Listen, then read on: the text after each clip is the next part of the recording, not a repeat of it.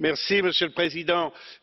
certains des discours que j'ai entendus, qu'ils émanent du Conseil ou de la Commission ou d'autres orateurs, me rappellent de vieux souvenirs parce que je suis député dans cette institution depuis bientôt vingt huit ans. Cela fait vingt huit ans que j'entends dire que, par exemple, en matière de migration, il faut s'attaquer aux causes mais le problème c'est qu'on ne s'est jamais attaqué aux causes et que l'on ne va pas plus s'attaquer aux causes. s'attaquer aux causes par exemple dans la situation actuelle qu'est ce que cela voudrait dire? eh bien s'attaquer aux causes cela voudrait dire s'occuper par exemple de l'abominable régime qui sévit en érythrée qui contraint la population en particulier masculine de ce pays pour fuir le service militaire à perpétuité à venir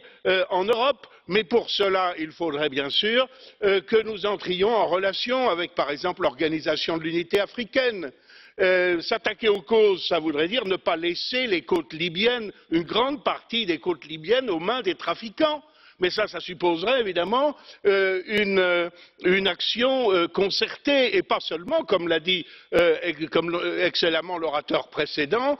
d'envoyer des bateaux qui récupèrent les candidats à la migration